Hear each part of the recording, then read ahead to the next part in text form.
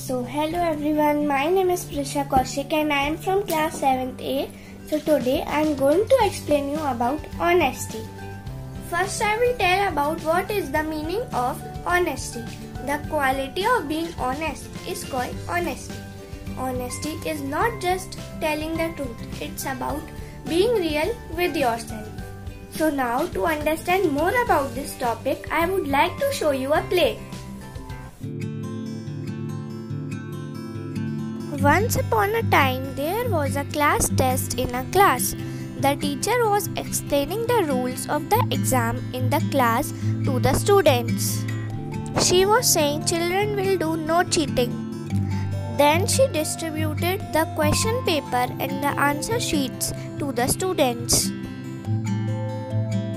The students have got the question paper and the answer sheets.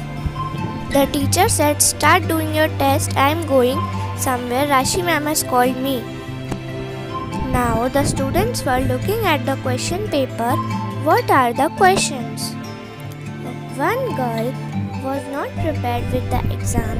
She had prepared English, but the paper was of maths. So now she has got an idea that she will cheat in the class because ma'am is not in the class. She has got an opportunity to do cheating.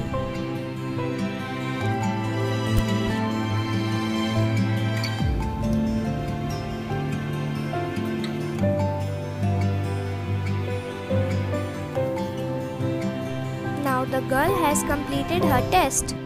The teacher came back in the class and she said, Now give me your question papers.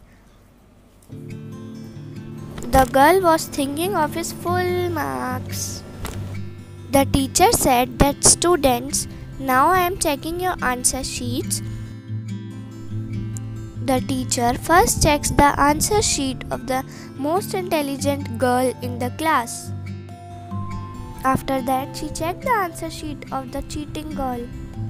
Now the ma'am has understood that the girl has done cheating from the intelligent girl. The ma'am called the girl.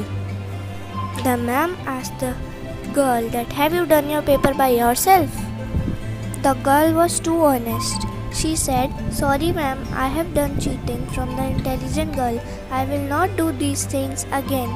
Actually, I have prepared English, but today there was a test of maths.